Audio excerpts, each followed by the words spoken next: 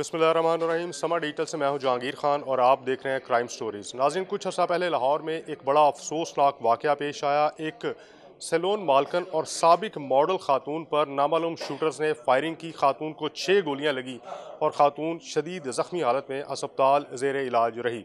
जैनब जमील के केस में पुलिस को बिलाखिर कामयाबी मिली और पाँच मुलजमान को गिरफ़्तार किया गया है, जिन्होंने इस खातून पर कातलाना हमला प्लान किया था। S P cantt Awais Shafiq साहब हमारे साथ मौजूद हैं, उनसे जानते हैं कि क्या इस वाक़े में मुलविस शूटर्स को गिरफ़्तार किया गया है या वाकई जो खातून के शोहर हैं, जिन पर के इल्ज़ाम था, उनकी गिरफ्तारी भी अमल में लाई जा चुकी है। अवैस साहब शुक्रिया, वक्त देने का ये बताइएगा कि अब तक इस केस में क्या पेश रफ्त है, कितने मुलजमान को गिरफ़्तार किया गया और उनका क्या किरदार था? जी, थैंक यू। आ, ये बड़ा एक हाई प्रोफ़ाइल केस था जिस तरह आपने मेंशन किया। मीडिया ने भी इसको बहुत प्रोजेक्ट किया। गवर्नमेंट ऑफ़ पंजाब ने आईजी साहब ने और जो लाहौर पुलिस है उसने इसका नोटिस लिया और फिर एक टीम इस्टेब्लिश हुई। आ, इसमें जैनब जमील साहिबा पर उनके जो हस्बैंड हैं मेन प्रिंसिपल एक्यूज़ वो हैं।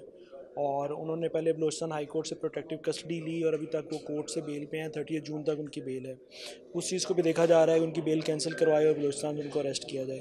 जो लोकल फैसिलिटेटर्स थे, पाँच लोग जिन्होंने वेपन्स प्रोवाइड किए, जिन्होंने गाड़ी प्रोवाइड की जिन्होंने शूटर्स को टारगेट दिखाया टारगेट को मौके पे लेके आए फायरिंग करवाई और फिर टारगेट को भगाने में मदद की। वो तमाम लोग अलहमदिल्ला हमने एक महीने की मेहनत के बाद अरेस्ट कर लिए हैं।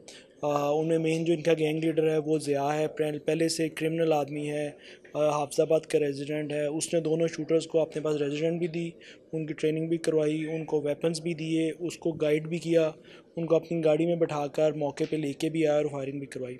हमने वो गाड़ी भी रिकवर कर ली है बाइक भी रिकवर कर ली है, दोनों वेपन्स भी हमारे पास हैं। अच्छा वैसा खातून की पहले रैकी जो है, वो सुनने में आया कि की जाती रही, बाकायदा उसको मॉनिटर किया जाता रहा, जो प्रिंसिपल अक्यूज़ है, उसके मुलाजमीन पूरी बात जो है वो बताते रहे, उसको कि खातून किस वक्त कहाँ से निकली, कहाँ गई, क्या, इसमें किस हद तक सदाकत है? ये हंड्रेड परसेंट बात फैक्ट पे बेस्ड है और जो जमील का मुलाजम नहीं, जो जैनब साहब का अपना मुलाजम है, जो ड्राइवर था घर का, वो हर चीज़ जो है वो कन्वे करता था और उसके बाकायदा पैसे मिलते थे उसके हस्बैंड से।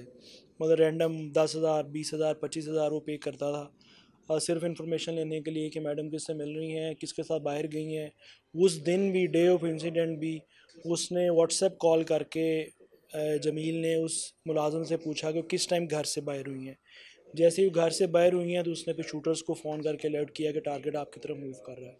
तो घर का जो मुलाजम है, वो क्योंकि आपके बहुत करीब होता है तो उसने मैक्सिमम फैसिलिटेट किया है ये अटैक जो है इसको ऑर्केस्ट्रेट करने में।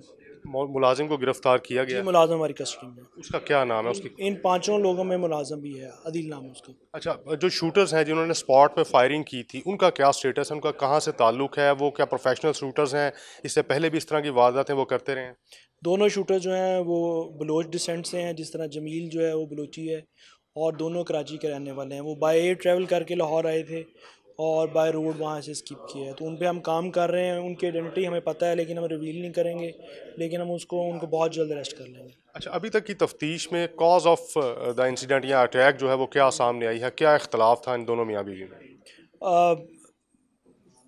जो हस्बैंड है जमील वो एक बड़ा वो कंजर्वेटिव माइंडसेट का आदमी है।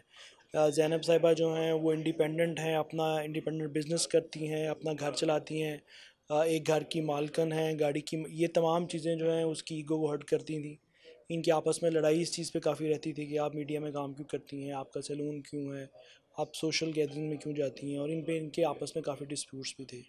और जो घर पे आर्ग्यूमेंट होता था, उस पर उसका ये बहुत था कि आगे से मुझे जवाब क्यों दे रहा था। इवन एक शूटर जो हमने, उनका लीडर अरेस्ट किया, उसने ये कहा कि जमील ने जब अटैक करवाया तो उसने बताया कि उसके मुँह में एक फ़ायर आपने ज़रूर मारना है। तो आप देखें मुँह में एक फ़ायर लगा था ताकि इसकी ज़ुबान चुप हो सके। तो ये वो चीज़ें हैं जो कॉज बनी और फिर उसने ये अटैक प्लान किया और फायर करवाई।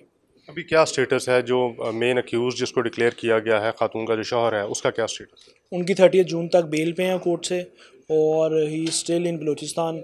तो बेल कैंसिल होगी तो हम गवर्नमेंट ऑफ़ बलोचिस्तान से रिक्वेस्ट करेंगे कि हम उनको अरेस्ट करने हैं तो हमें फैसिलिटेट करें। और जो मेन शूटर्स हैं उनकी गिरफ्तारी के लिए कोई टीम भी कराची गई? वो टीम्स दो टीम्स कराची जा चुकी हैं और उनको हम एक से दो दिन में अरेस्ट कर लेंगे। बहुत शुक्रिया जी S P cantt Awais Shafiq साहब का ये कहना है कि जो फायरिंग करने वाले शूटर्स हैं उनकी गिरफ्तारी के लिए पुलिस की दो टीम्स कराची रवाना की गई हैं और दावा ये किया जा रहा है कि जल्द उन दोनों शूटर्स को भी गिरफ़्तार कर लिया जाएगा।